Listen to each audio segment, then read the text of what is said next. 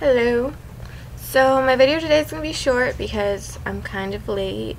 Um, but yeah, I'm going to do it anyway. So, um, this is currently untitled as well.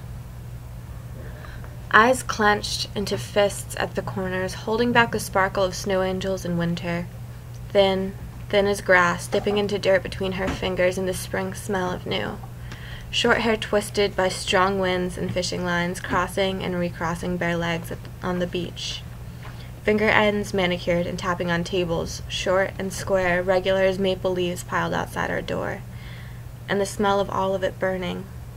Ashes, ashes, we all fall down.